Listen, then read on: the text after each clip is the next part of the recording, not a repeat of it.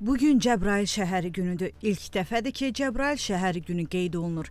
Prezident İlham Əliyevin 2023-cü il iyulun 31-də imzaladığı sərəncama əsasən hər il oktyabrın 4-də Cəbrayıl şəhəri günü təntənəli şəkildə qeyd edilir. Bu əlamətlər günün təsis olunması Cəbrayıl şəhərinin Ermənistan silahlı qüvvələrinin işğalından azad edilməsi tarixi ilə bağlıdır.